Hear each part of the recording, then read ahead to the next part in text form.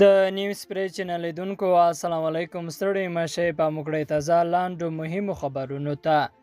د فرانسې خبري اژانس د خبر لمخې ترکیه خوخي خودلې چې پر کابل د طالبانو تر والکي وروسته د نړۍ یو شمېر مهمو هیوادونو مثبت پیغامونه خبره کړي او هیله څرګنده کړې چې طالبان به په افغانستان کې یو ټول منلی حکومت جوړ کړي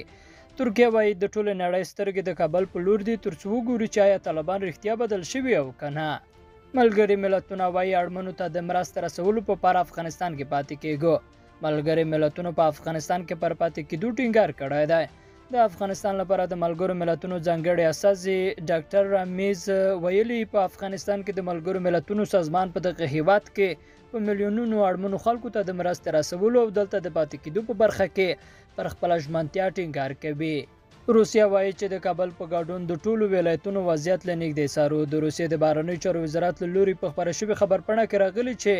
د کابل سربېره په ټول افغانستان کې وضعیت د ښه کېدو په حال کې دی او طالبانو د عمومي نظام تثبیت لپاره هلې ځلې پیل کړې دي او دغه راز یې د محلي او ډیپلوماټیکو استازولیو د امنیت ډاډ هم ورکړی دی.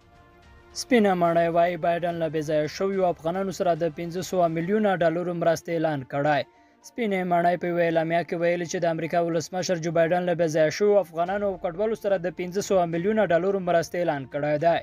سپورټینګ اژانس راپور ورکړی دی چې بایډن د دغه هیواد بهرنیو چارو وزارت ته په یوې خبرتیا کې ویلي چې د خپلو ملي ګټو د ساتنې او دغه راز د بېځایه شوو او کډوالو سره د مرستې قانون پر بنسټ د له هغو افغانانو سره 1500 میلیونه ډالره مرسته وکړي چې په افغانستان کې د وروستیو جګړو او نورو ستونزو له امله د خپلو مینو پرېښودو ته اړ شوي او یا هم نور هیوادونو ته کډوال شوي دي لیدونکو له غوږ نیونه مه مننه کوم